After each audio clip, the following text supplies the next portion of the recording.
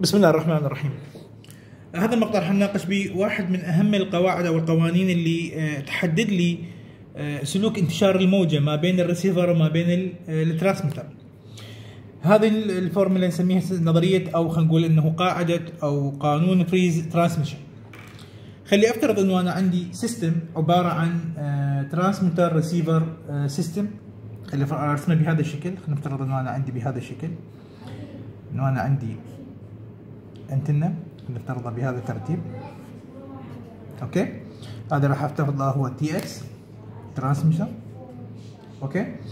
وراح أفترض هنا إنه أنا عندي ال RX بهذا الشكل. هذه هنا أنا عندي RX فبالتالي هنا عندنا transmitter transmitting antenna. وهذه هنا راح يكون عندنا هي الريسيفر أو receiving antenna okay؟ إذا راح أفترض المسافة ما بين ال two antennas هذه. راح أفترضها بيناتهم هي d small وراح أفترض إنه طبيعة الأنتنة هي عبارة عن isotropic antenna بمعنى إنه راح يكون عندي مقدار قيمة ال signals اللي منتشرة. هي آه، يعني بنفس ال density في كل النقاط. فبالتالي هي isotropic antenna اذا هسه اولا انه أنا عندي transmitter عندي ريسيفر المسافة ما بيناتهم جاي افترضها هي d اذا إذا افترضت هنا إنه ال TX اللي عندي ال transmitter يعني ال transmitter antenna اللي موجودة راح افترضها هي عبارة عن isotropic antenna أو isotropic source فبالتالي مقدار قيمة ال power density اللي هي ال capital W راح نفترضها نقول تحت فرضية. for isotropic antenna for TX جاي أفترض إنه هذه هي عبارة عن isotropic source اذا راح يكون عندي مقدار قيمة ال power density at RX مقدار قيمة ال power density بال transmitter antenna راح تكون تعطى بالمعادلة التالية. عنده مقدار قيمة ال power density تساوي لي مقدار قيمة ال P transmitted على مقدار قيمة ال area ال area اللي عندنا.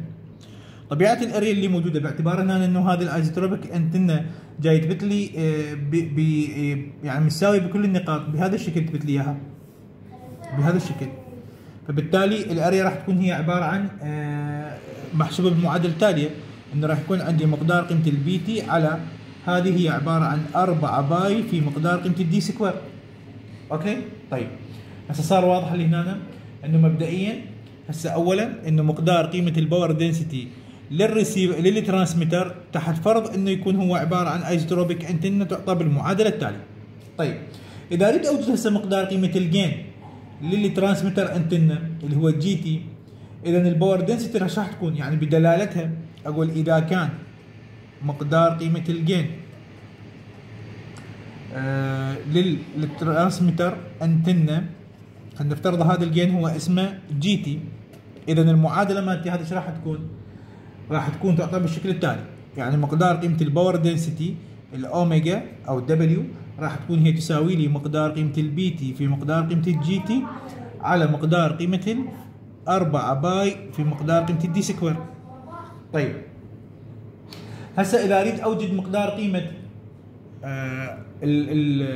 ال received power اللي واصلة لي هنا على فرض إنه راح آخذ ال ideal conditions الشروط المثالية واللي هي شنو يعني؟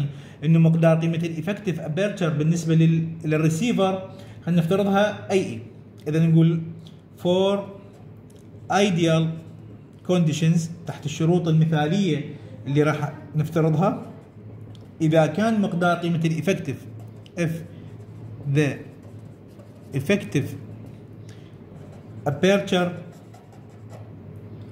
لل received antenna اللي هي ال RX antenna راح نفترضها هي تمثل مقدار قيمة ال Ae هذه ال effective aperture إذا إيش راح يكون عندي مقدار قيمة ال received فبالتالي إذا نقول مقدار قيمة ال received power نقول then received power راح تكون هي اللي نسميها ال PR ال PR راح تعطى أو ال PR بهذا الشكل تعطى بهذا الشكل. هي تمثل مقدار قيمة ال W في مقدار قيمة ال effective aperture لل received antenna okay؟ طيب خلينا نرتب هذه المعادلة. يعني راح يكون عندي مقدار قيمة ال received power ال PR تساوي لي. هذه هي تمثل مقدار قيمة ال W اللي هي تمثل مقدار قيمة ال power density لل transmitter okay؟ آه لل receiver power density لل receiver. بالتالي المعادلة مالتي راح تكون بهذا الشكل. اذا راح تكون عندنا مقدارها تساوي مقدار قيمة ال PT في مقدار قيمة ال GT على 4 pi في مقدار قيمة ال D square هذه تمثل ال W في مقدار قيمة ال effective aperture لل receiver طيب هسه هذه تمثل مقدار قيمة ال received power effective received power إذا أريد أوجد مقدار قيمة ال gain إذا أريد أعوض عن مقدار قيمة ال gain أقول بما أنه مقدار قيمة ال gain لل transmitter يعطى بالمعادلة شلون أحسبه؟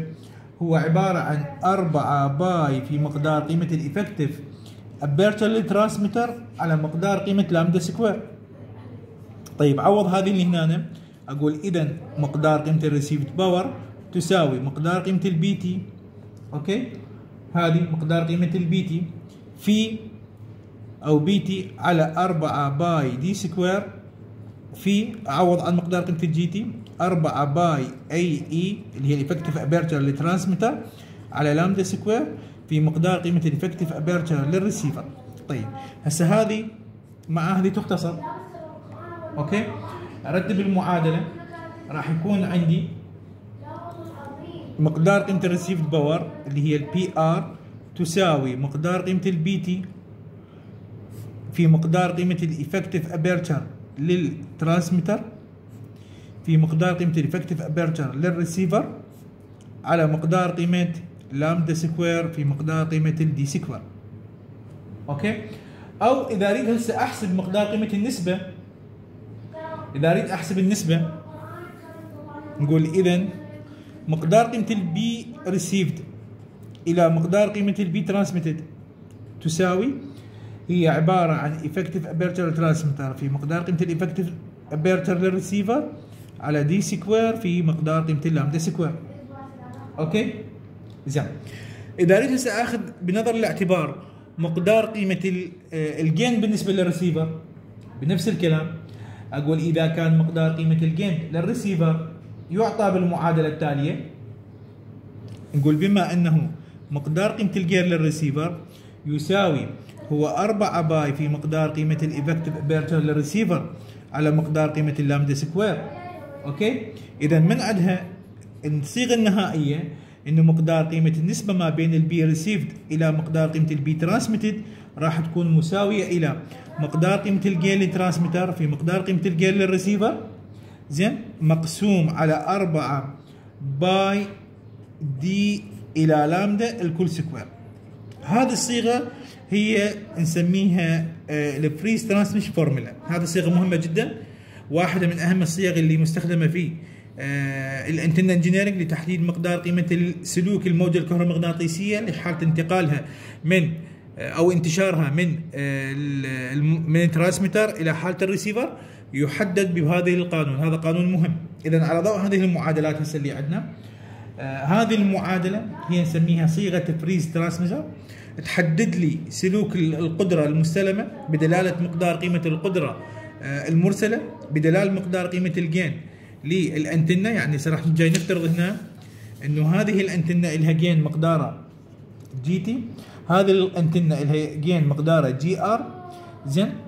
ولكل واحدة لها effective aperture لل T وهذه effective aperture لل receiver فبالتالي العلاقة راح تكون هي بالشكل التالي إنه النسبة ما بين القدرة المستلمه إلى المرسلة تساوي الجين للترانسميتر في الجين للريسيفر على 4 pi في مقدار قيمة المسافة ما بيناتهم اللي هي ال D ما بين ال transmitter وال receiver على مقدار قيمة لامدا طول الموجي الموجة المنتشرة الكل square هذه المعادلة وهذه الصيغة هي واحدة من أهم الصيغ اللي تعتمد لتحديد مقدار وسلوك. أولا مقدار قيمة ال power اللي واصلة بدلالة مقدار قيمة الطول المسافة نقصد بها وكيفية انتشار الموجة الكهرومغناطيسية. آه، طبعا ناخذ بنظر الاعتبار أنه الشروط جاي نفترضها هنا أنه طبيعة ال source أو طبيعة الأنتنة اللي transmitter هو isotropic. زين هذه نقطة أساسية. آه، أفترض أنه ال ideal condition لتحديد مقدار قيمة ال effective aperture لل transmitter وال receiver وبدلالتها حددت مقدار قيمة القاعدة.